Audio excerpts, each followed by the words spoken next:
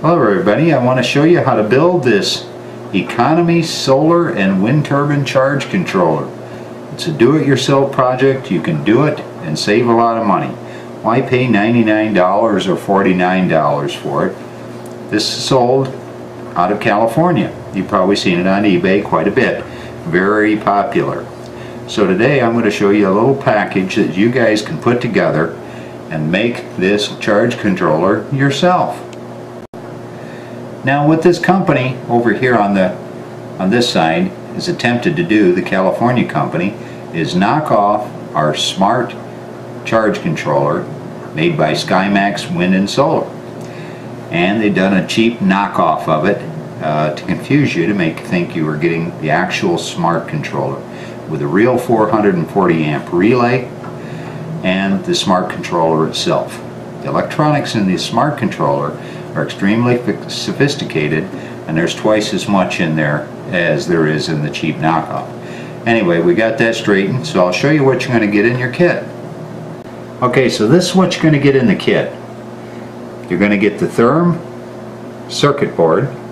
This is your actual controller, the same one that's in the one from California. Clear plastic box. And you're going to get a relay. You'll be able to assemble this completely yourself uh, for far less cost than this one from California.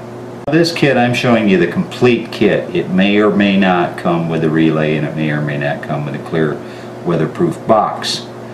Uh, but you will get the thermal chip controller and uh, a full set of instructions on how to wire this to make an extremely low cost solar wind charge controller.